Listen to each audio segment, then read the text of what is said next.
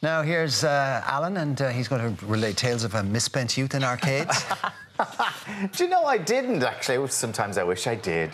Today I'm joined by one Irish dad who found a way to reconnect with his teenage son by building him a retro mini arcade machine. Now, he's since turned this love of video games into a thrive. Oops. into a thriving business and now makes bespoke arcade machines for celebrity clients such as Conor McGregor and Shaun of the Dead actor Nick Frost. Aidan Deering, good morning to you. Good morning to you. I mean, incredible. So this Thank was you. all about just reconnecting with your son because he was on the iPad doing stuff and you were going, look, we need to do Yeah, stuff well- together. Yeah, well, what happened was he was constantly on the iPad, and I was a single parent. And these online devices now, um, he was constantly on it, didn't have a fragmented relationship with him as well. So I decided to kind of touch base with him, go down to his level. And I was always telling him about the old, old games. Old- like the Mo- old arcade machines, yeah. And he was always saying, ah, stop that. You know, he never played them, but he heard about them. So I decided to, every night for about six months, stay up and build a machine. But you see, this is easy. Like you're saying, I decided to stay up. I Yeah, wouldn't have a clue how to even start doing this. So, have you any background in this then? I don't. I've got background in designing, but not in, not But in how electrics. did you then start building them? It was YouTube and Google. I Really? really went through everything, found out what the best way to get the machine, what system goes into the machine. So what happened? It was a surprise build.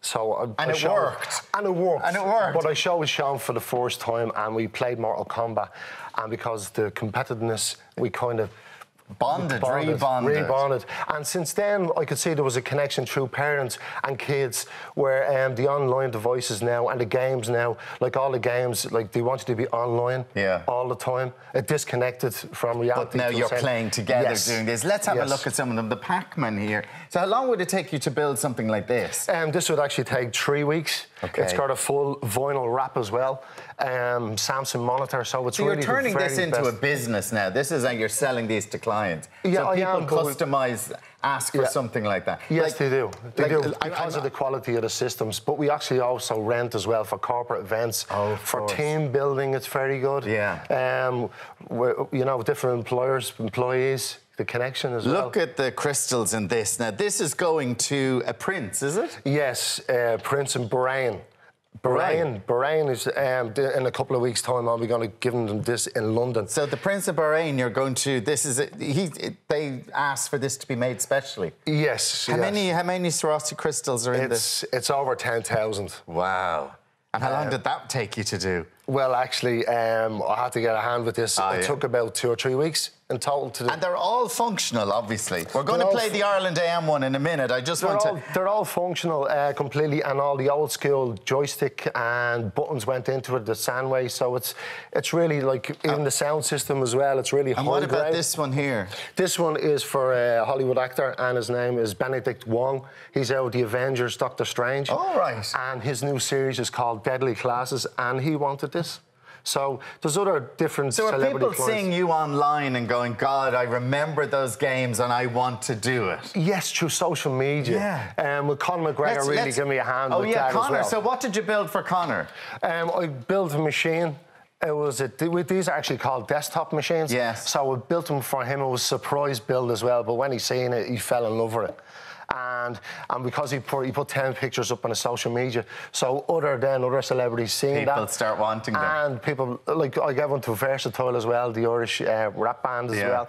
So there is a lot of clientele through the celebrities, but it's really because of the quality of the machines. Yeah, they're very, they're really well done. Let's. Uh, we have an Ireland AM retro arcade. We have our very own Ireland AM. We can put the sound up and actually play this. So, so Okay. it, it's This really is- like being in, isn't it? It is, this So- is actually this is actually a classic game called Shinobi.